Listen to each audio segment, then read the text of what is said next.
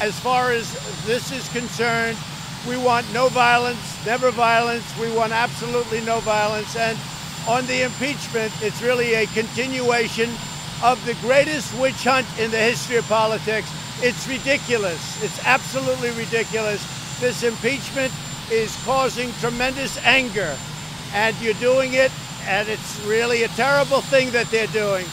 Uh, a lot in it for them uh, if they're able to get through, but we're able to. For Nancy Pelosi and Chuck Schumer to continue on this path, I think it's causing tremendous danger to our country and it's causing tremendous anger. I want no violence. Thank you very much.